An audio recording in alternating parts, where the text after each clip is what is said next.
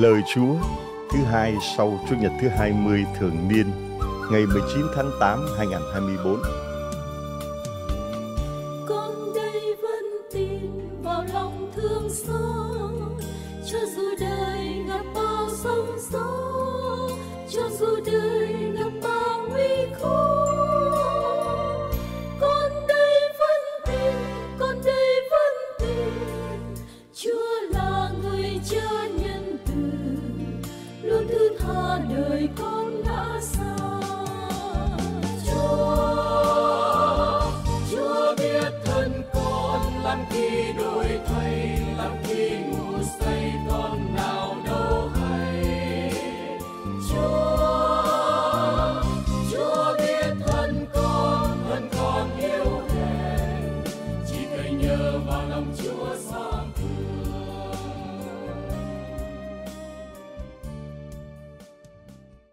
Lời Chúa thứ hai sau Chủ nhật thứ 20 thường niên ngày 19 tháng 8 2024.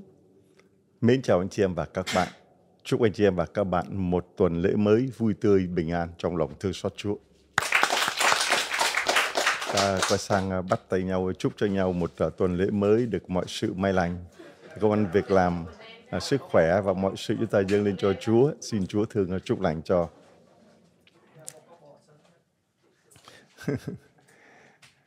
Mời anh chị và các bạn lắng nghe lời Chúa thứ hai sau Chủ nhật thứ 20 thường niên. Bài đọc một năm chẵn trong sách ngôn sứ Ezekiel chương 24 câu 15 đến câu 24. Bài trích sách ngôn sứ Ezekiel, có lời Đức Chúa phán với tôi rằng, hỡi con người, này ta sẽ bất thần cất ngươi khỏi, ngươi niềm vui của mắt ngươi nhưng ngươi không được thương tiếc người chết, không được khóc lóc, không được để nước mắt trào ra. Hãy rên rỉ âm thầm, đừng làm đám tang cho người chết. Hãy đội khăn, đi dép, không được che râu, không được ăn bánh người ta đưa đến. Tôi nói với dân chúng ban sáng, thì đến chiều, vợ tôi chết. Sáng hôm sau, tôi làm như lệnh đức chúa đã truyền cho tôi dân chúng bảo tôi, ông không cắt nghĩa cho chúng tôi hiểu những gì ông đã làm sao. Tôi nói với họ, có lời đức chúa phán với tôi rằng, hãy nói với nhà israel, đức chúa là chúa thượng phán như sau, này, ta sẽ làm cho nơi thánh của ta ra ô uế. Nơi thánh đó là sức mạnh làm cho các ngươi hãnh diện, là niềm vui của đôi mắt các ngươi, là nơi các ngươi hằng quan tâm. Con trai con gái các ngươi đã bỏ lại sẽ ngã gục vì gươm. Các ngươi cứ làm như Ezekiel đã làm. Các ngươi đừng che râu, đừng ăn bánh người ta đưa đến. Đầu đội khăn, chân đi dép. Các ngươi không được thương tiếc người chết, không được khóc lóc. Các ngươi sẽ chết dần chết mòn vì lỗi lầm của các ngươi. Các ngươi sẽ nhìn nhau mà rên xiết. Ezekiel sẽ nên điềm báo cho các ngươi. Các ngươi sẽ làm y như nó đã làm. Khi sự việc xảy ra, các ngươi sẽ nhận biết chính ta là Đức Chúa, là Chúa Thượng. Đó là lời Chúa. Mời anh chị em lặp lại câu đáp. Thiên Chúa sinh ra ngươi, ngươi lại coi thường. Thiên Chúa là nuôi đa, sinh ra ngươi, ngươi lại coi thường. Ngươi quên Thiên Chúa, đấng đã sinh ra ngươi. Đức Chúa thấy vậy thì khinh miệt, vì con trai, con gái người đã trêu giận người. Người phan, ta sẽ ấn mặt đi không nhìn chung để xem hậu vận chúng ra sao, vì chúng là giống nòi trao chờ, những đứa con chẳng chút tin chung. Chúng đã thờ các thần không phải là Thiên Chúa, khiến ta phải ghen tương, thờ những thần hư ảo mà trêu giận ta. Ta sẽ dùng một dân không phải là dân, khiến chúng phải ghen tương, dùng một dân ngu si mà trêu giận chung. Hallelujah, Hallelujah, phúc thay ai có tâm hồn nghèo khó, vì nước trời là của họ. Hallelujah. Mời anh chị em mở tin mừng Chúa Giêsu theo Thánh Matthew chương 19 câu 16 đến câu 22. Tin mừng Chúa Giêsu Kitô theo Thánh Matthew. Khi ấy có một người đến thưa Đức Giêsu rằng: Thưa thầy, tôi phải làm điều gì tốt để được hưởng sự sống đời đời? Đức Giêsu đáp: Sao anh lại hỏi tôi về điều tốt? Chỉ có một đấng tốt lành mà thôi. Nếu anh muốn vào cõi sống thì hãy giữ các điều răn. Người ấy hỏi: Điều răn nào? Đức Giêsu đáp: Ngươi không được giết người, không được ngoại tình, không được trộm cắp, không được làm chứng gian, phải tôn kính cha mẹ và phải yêu đồng loại như yêu chính mình. Người thanh niên ấy nói, tất cả những điều đó tôi đã tuân giữ, tôi còn thiếu điều gì nữa không? Đức Giêsu đáp, nếu anh muốn nên hoàn thiện thì hãy đi bán tài sản của anh và đem cho người nghèo. Anh sẽ có được một kho tàng trên trời, rồi hãy đến theo tôi. Nghe lời đó, người thanh niên buồn rầu bỏ đi vì anh ta có nhiều của cải. Đó là lời Chúa. Lạy Chúa Kitô, lời khen Chúa. Thương chị em và các bạn, nếu chúng ta nghe bài đọc một năm chẵn trong ngày thứ hai, tuần thứ 20 thường niên, ta nghe ta sẽ thấy hơi bị ủ tai. Ủ tai ở chỗ không hiểu là như thế nào. Nếu mà anh chị em biết được rằng là Ezekiel là một ngôn sứ, mà vai trò của ngôn sứ là người truyền đạt lời Chúa đến với dân. Xưa ta gọi là tiên tri, mà cứ nghe đến tiên tri thì mình hay nghĩ đến việc là tiên tri là người đi nói về những chuyện tương lai, báo trước những chuyện tương lai. À, ngôn sứ hay là tiên tri không phải là những người mà đi coi bói, những người mà nói chuyện tương lai, nhưng mà là người truyền đạt lời Chúa với dân. Truyền đạt lời của Chúa đến cho người dân. Là người nghe Chúa nói cái gì, Chúa phán cái gì thì đi nói lại cho người dân như thế. Mà không phải chỉ là nói bằng lời mà còn nói bằng những dấu chỉ, những hình ảnh biểu tượng và những biến cố của cuộc sống. Cuộc sống của người ngôn sứ là một dấu chỉ Chúa muốn nói. Cuộc sống của người ngôn sứ là một sứ điệp mà Chúa muốn truyền đạt đến.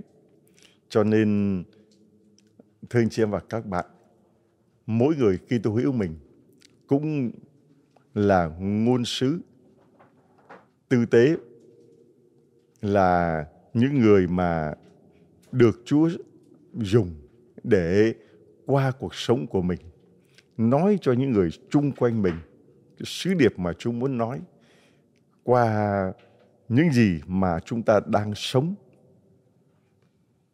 Ta truyền đạt thánh ý của Chúa, lời của Chúa cho người khác. À, anh chị em giáo dân mình không đứng trên tòa giảng để mà giảng như là linh mục, những người có chức thánh.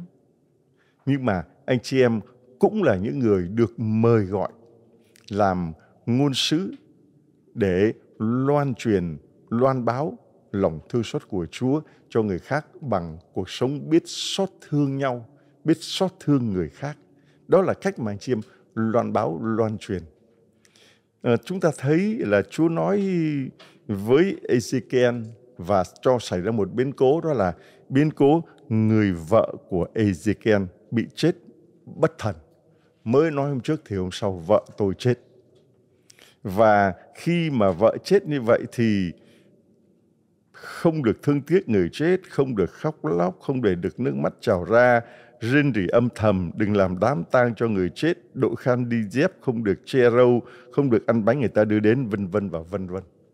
Thì những cái cách đó, những cái dấu chỉ đó cho người dân Do Thái biết được rằng là đó là hình ảnh mà họ cũng sẽ bị đi lưu đày một cách bất thình lình vì lý do họ đã không sám hối, không chịu nghe lời của Chúa mà quay trở về với Chúa. Ezekiel sẽ nên điềm báo cho các ngươi. Các ngươi sẽ làm y như nó đã làm. Và khi sự việc xảy ra thì các ngươi sẽ nhận biết rằng chính ta là Đức Chúa. Chúa cho những sự kiện, sự việc xảy ra để cho mình nhận biết rằng chính Chúa là Thiên Chúa của chúng ta. Mà ta cũng như là người Israel thời xưa đã không làm công việc là tôn thờ Thiên Chúa, đi theo Thiên Chúa. Cho nên Chúa mới phán ta sẽ làm cho nơi thánh của ta ra ô uế. Nơi thánh đó là sức mạnh làm cho ngươi hãnh diện, là niềm vui của đôi mắt ngươi, là nơi ngươi hàng quan tâm thì ta làm cho nó ra ô uế. Ta không hiện diện ở trong nơi thánh đó nữa. Vì các ngươi đã bỏ Thiên Chúa của các ngươi mà đi thờ tả thần, Giống như là trong đắp ca chúng ta nghe, Thiên Chúa sinh ra ngươi, ngươi lại coi thường. Thiên Chúa là núi đá sinh ra ngươi, ngươi lại coi thường. Ngươi quên Thiên Chúa đấng đã sinh ra ngươi. Đức Chúa thấy vậy thì khinh miệt vì con trai con gái người đã trêu giận người. Chúng ta vẫn nói về một Thiên Chúa đầy quyền năng và giàu lòng thương xót. Một Thiên Chúa xót thương trước khi công thẳng trừng phạt luôn luôn là tạo những điều kiện, những cơ hội cho người ta quay trở về. Chấp nhận bắt Ezekiel phải làm một công việc mà nó trái khuấy. Ezekiel đau khổ lắm chứ. Lấy ngay chính hình ảnh người vợ của mình bị chết bất đắc kỳ tử đấy, chết bất thình lình đấy, để nên dấu chỉ rằng là người do thái nếu mà không quay về với chúa thì cũng bị lưu đày một cách bất thình lình như thế, thua trận một cách bất thình lình và bị đem đi lưu đày trong lúc họ đang là hãnh diện vì họ có Chúa ở cùng, họ đang hãnh diện vì uh, đền thờ Jerusalem là nơi thánh Chúa ngự, Chúa cất hết tất cả cái đó đi. Làm ngôn sứ của Chúa đâu có phải dễ, đâu có hãnh diện vì tôi là người đại diện cho Chúa, tôi được nói lời của Chúa. Thưa anh chị em, đắng đót lắm. Vì phải lấy chính đời sống của mình ra để mà làm, làm chứng cho điều mình nói. Và tự nhiên lãnh một cái tang mà phải làm những cái việc trái khuấy như thế, để nhắc nhở. Nếu mà là chuyện bình thường, vợ chết rồi khóc rồi đám tang bình thường thì người dân do thái họ cũng chẳng có giật mình, họ cũng chẳng quay trở về. Một chỗ đã làm phải cỡ như thế đó rồi đó. Một cái dấu chỉ hết sức là kỳ cục, kỳ khôi, ngược đời. Mà người ta vẫn không chịu quay trở về. Cho nên chúa phán, ta sẽ ẩn mặt đi không nhìn chúng để xem hậu vận chúng ra sao. Vì chúng là giống nòi tráo trở những đứa con chẳng chút tín trung. Chúng thờ các thần không phải là Thiên Chúa khiến ta phải ghen tuông. Thờ những thần hư ảo mà trêu giận ta. Ta sẽ dùng một dân không phải là dân khiến chúng phải ghen tương. Dùng một dân ngu si mà trêu giận chúng.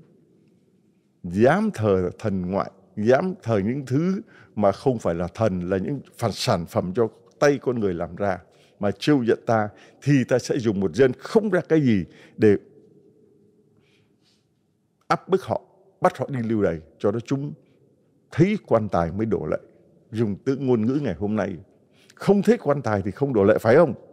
Được. Dùng biết bao nhiêu dấu chỉ vậy mà vẫn không quay trở về. Được. Một thiên chúa giàu lòng thương xót hoan giãn giờ trừng phạt để cho con người ta có cơ hội quay trở lại bằng biết bao nhiêu những dấu chỉ.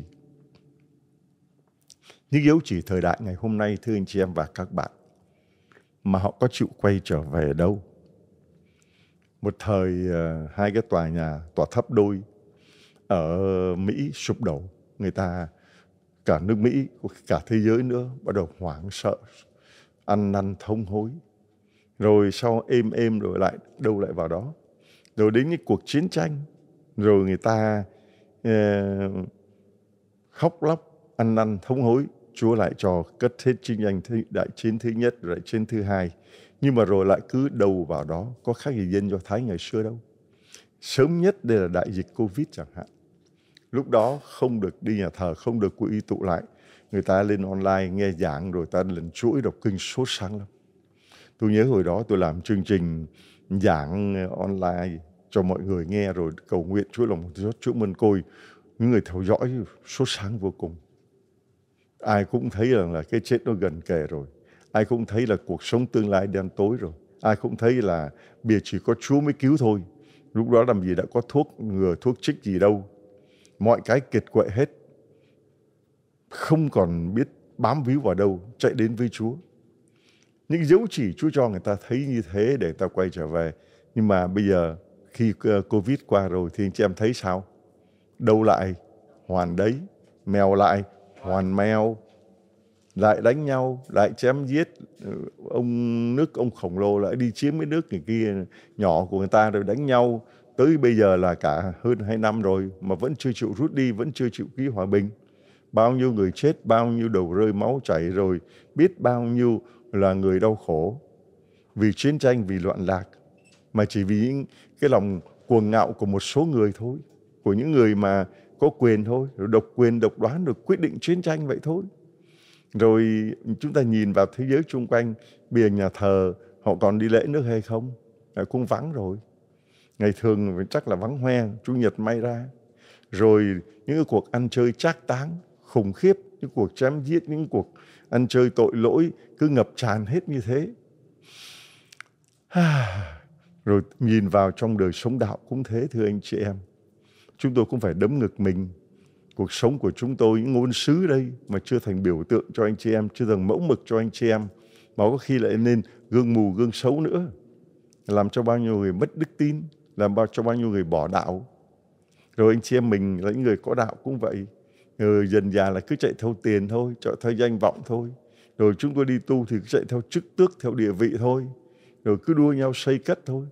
Xây cất đền thờ vật chất mà quên đền thờ tâm hồn. Rồi đua nhau nhất cái gì cũng nhất nhà thờ này cao nhất tượng này to nhất rồi cái chuông này to kêu lơ nhất cái gì cũng muốn nhất nhất nhất nhất mà không có đua nhau để mà um, lòng thương xót Chúa là nhất không có cầu nguyện suốt sáng nhất đi đạo đức nhất đi hy sinh nhất đi và nhất là làm bác ái nhất đi. Không còn ai muốn làm bác ái nữa. Ai sống chết kệ ta cứ xây cứ to. Tờ nhà, chùa trên nhà thờ đài cứ ngây ngất nưỡng trong khi đó nhà người dân thì nghèo khổ ừ, kinh tế thì khó khăn chả ai quan tâm. Đó Chúa làm cho bao nhiêu cái dấu chỉ bao nhiêu biến cố đó rồi mà con người ta vẫn không chịu quay trở về mình đọc trong Ezekiel mình thấy kỳ quá, còn bây giờ thì còn kỳ hơn nhiều chứ. Kỳ nhiều hơn nhiều chứ, và Chúa làm những dấu chỉ rất rõ ràng như thế mà. Vì sao, thưa anh chị em và các bạn? Như là chàng thanh niên. Trong bài tin mừng ngày hôm nay, biết nhiều. Biết đấy, đến hỏi Chúa, tôi phải làm điều gì tốt để được hưởng sự sống đời đời? Biết chưa?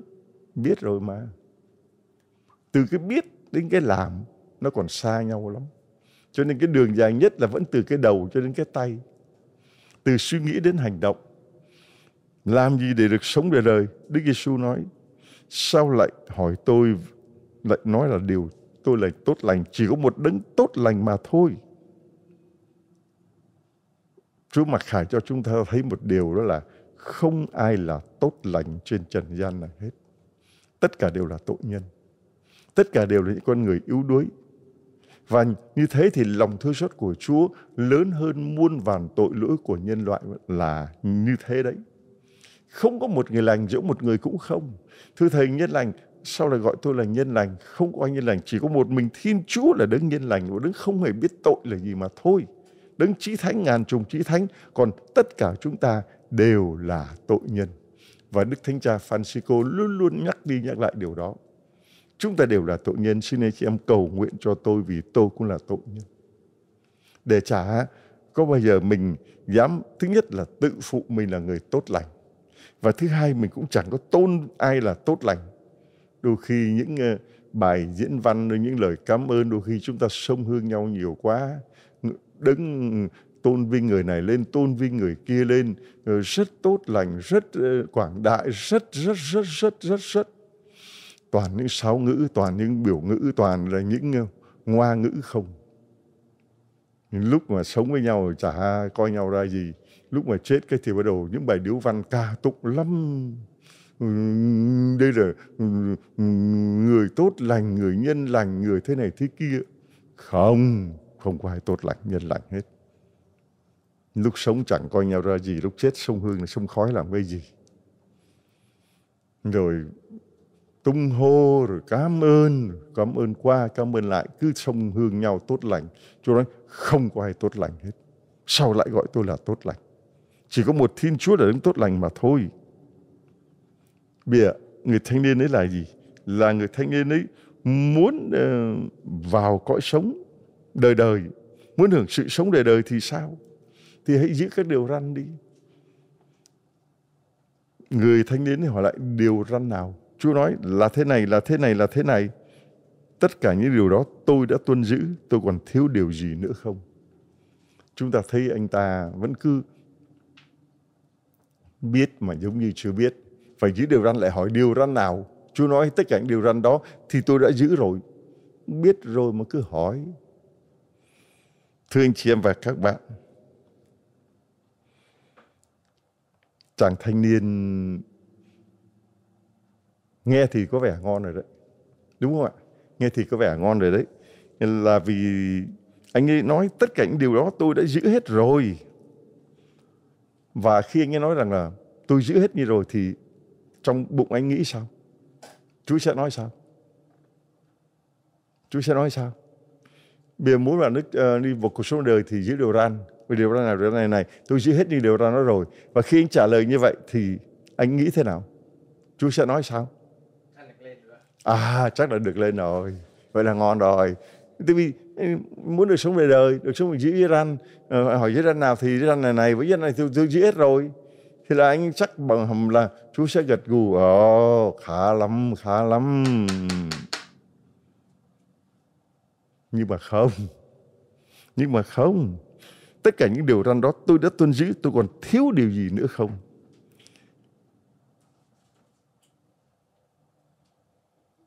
Còn không?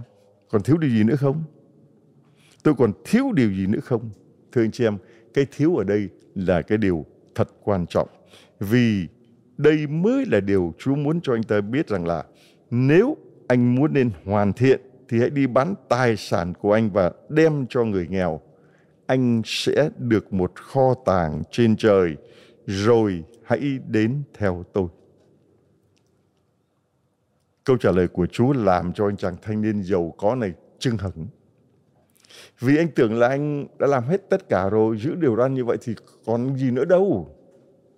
Ai gì à, khi đối diện với một Thiên Chúa làm người, anh mới thấy mình còn thiếu.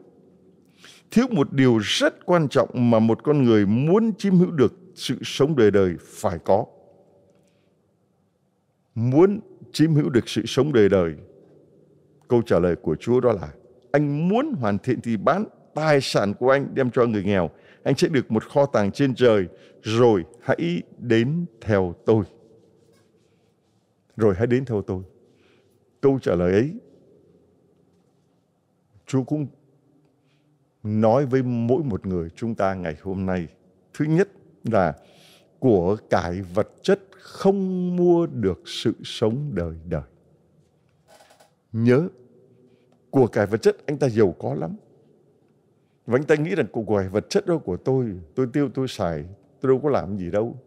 Cho nên là tôi đã giữ hết tất cả cái dây ăn rồi. Vậy thì tôi có thể mua được sự sống đời đời bằng của cải vật chất hay không? Chúa nói không, bán hết tất cả đi mà cho người nghèo. Chứ không phải là của cải vật chất ấy anh có thể mua được nước trời. Có nhiều người ờ, nói với tôi thưa cha con thấy có những người này người kia chết. Họ giàu có họ là đại gia là đại ân nhân. Thấy có cả các đức cha rồi có bao nhiêu cha rồi bao nhiêu tu sĩ đến uh, dâng lễ rồi viếng. Con thấy thèm quá. Con thấy tủi quá. Tủi vì chắc không bao giờ con có được như thế. Và con thấy thèm bảo thấy người ta được như vậy mà mình phát thèm. Và điểm nữa con thấy là nếu mà họ được như vậy thì họ lên thiên đàng quá cha ơi. Vì được bao nhiêu đức cha, bao nhiêu các cha dân lễ rồi tu sĩ đến viếng như thế mà không um, lên thiên đàng sao được. Mà không những là ngày an táng mà còn ngày dỗ đầu rồi dỗ uh, mãn tang đều được như vậy nữa. Cho nên là um, chắc là được lên thiên đàng phải không cha? Bạn nghĩ sao được không? Trăm cha, hai trăm cha, được không? Được không? Bạn nghĩ sao? Chúa khẳng định ở đây là của cải nước trời, của cải thế gian này không mua được nước trời. Cho nên đừng nghĩ rằng là ta có của cải ta có thể mua được nước trời. Ta đem làm cái này, làm cái nọ, cái kia rồi ta lấy tiếng là ân nhân, là đại ân nhân rồi ta hãnh diện, ta nghĩ rằng là tôi chết thì có bao nhiêu trai đến dâng lễ cho tôi, vậy thì tôi được lên nước trời. Thế thì những người nghèo, cái ông ờ, gác chuông, cái ông ờ, làm vệ sinh này ờ, chết, may ra được một lễ gia đình xin, rồi ông không được vào nước trời à? Và cứ càng nào nhiều tiền thì xin nhiều lễ thì được vào nước trời à? Nhiều tiền dâng cúng nhiều rồi vào nước trời à? Vậy thì còn công bằng nữa hay không? Vậy thì được lời lãi cả thế gian lại còn rỗi linh hồn thì còn gì bằng? Còn những người này đã nghèo khổ, thế gian này trả được cái gì rồi chết cũng chẳng ai xin lấy chẳng ai nhớ đến thì uh, uh, đi tiêu luôn à? Hả? Vậy đúng không? Trả lời. Không. Đúng hay không? Không. Mới đầu anh chị em cũng bắt đầu ngơ ngơ rồi đấy. Là ừ, ừ, ừ, ừ đấy, bắt đầu hoảng hoảng rồi đấy. Thứ nhất của cái không mua được nước trời. Không mua được nước trời. Nếu một thiên chúa như vậy thì um, có khác gì một ông vua trần gian? Có khác gì thế gian? À, cũng có nhiều tiền thì chạy trọt lo lót thì được vô, còn không có tiền thì ra ngoài. Chúa nói không, vì thế mà Chúa bảo bán hết tất cả các anh có đi. Chúa thấy cái mà anh chàng này hãnh diện vì anh ta giữ được tất cả các dây răn rồi lại có tiền của vậy thì anh chắc bẩm anh vào nước trời lắm cả hai cái Chúa đều đánh bật hết không. Cái thứ nhất là tiền của của anh cũng không mua được nước trời. Cái thứ hai là anh có giữ tất cả các di răn cũng không được vào nước trời đâu. Vì anh chỉ giữ di răn thôi mà. Chỉ là người nô lệ do lề luật thôi mà. Cái điều quan trọng nhất để có thể được sống đời đời là hãy đến mà theo tôi có đi theo Chúa thì mới vào được nước trời. Chứ còn mà đi theo tiền của không vào được nước trời, đi theo luật lệ cũng không vào được nước trời, chỉ có đi theo chúa thôi. Mà điều kiện đi theo chúa, đối với anh này thì bán hết tất cả, cho người nghèo đi, rồi đến theo tôi thì mới vào được nước trời.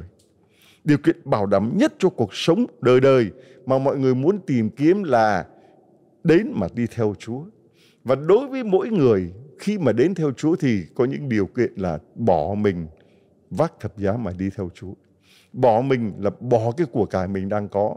Bỏ mình là bỏ cái tự ái mà anh đang có. Bỏ mình là bỏ tất cả những tham vọng mà anh đang có. Bỏ mình là bỏ tất cả những đam mê mà anh đang có. Mỗi người có những cái mà không dứt ra được. Nếu mà không dứt được thì không vào được nước trời. Vì dứt ra được thì mới theo Chúa được. Và đi theo Chúa vậy thì mới Chúa ở đâu, ta ở đâu thì những kẻ phụng sự ta cũng sẽ được ở đó với ta. Còn anh chạy theo danh vọng theo tiền của theo ừ, luật lệ không có chỗ cho nước trời đâu. Nhớ như vậy thưa anh chị em. Cho nên nhiều người Kitô hữu ngày hôm nay cũng mắc sai lầm những người thanh niên giàu có này. Cứ tưởng rằng có đạo là giữ đủ các giấy răn làm hết chuyện này đến chuyện kia đi lễ đọc kinh làm việc đạo đức như thế là đủ lời Chúa hôm nay cho thấy điều quan trọng trong đạo là tin theo Đức Giêsu tin theo Đức Giêsu là sống theo lời của người, theo những đòi hỏi của Ngài. Còn việc đi lễ, đọc kinh và làm các việc đạo đức khác là hậu quả tất nhiên của việc theo Đức Giêsu Kitô. Khi tôi đã tin vào lòng thương xót của Chúa, khi tôi đã đi theo lòng thương xót của Chúa thì tôi chẳng mang gì đến của cải, chẳng mang gì đến danh vọng, chẳng mang gì đến chức tức địa vị, bỏ hết để mà đi theo Chúa để được vào nước trời.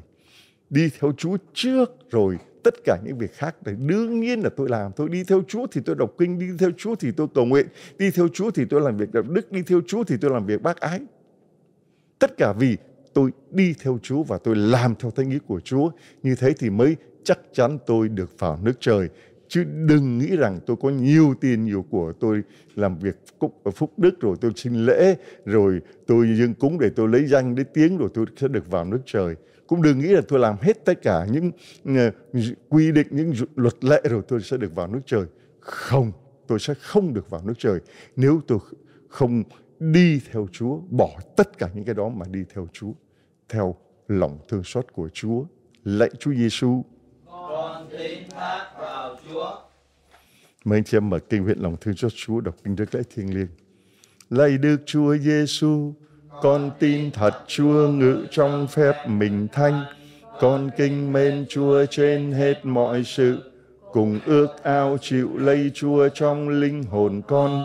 Song le bây giờ con chẳng có thế mà chịu Chúa cho thật được, thì xin Chúa ngự vào linh hồn con cách thiêng liêng vậy, chẳng khác gì như Chúa đã ngự vào thật, thì con xin ậm lây, cùng hợp làm một cùng Chúa cho chọn. Xin Chúa chớ để cho con lìa bỏ Chúa bao giờ. Amen. Chúa ở cùng anh chị em. Xin Thiên Chúa toàn năng là Cha và Con và Thánh Thần ban phúc lành cho anh chị em. Chúc anh chị em luôn được bình an.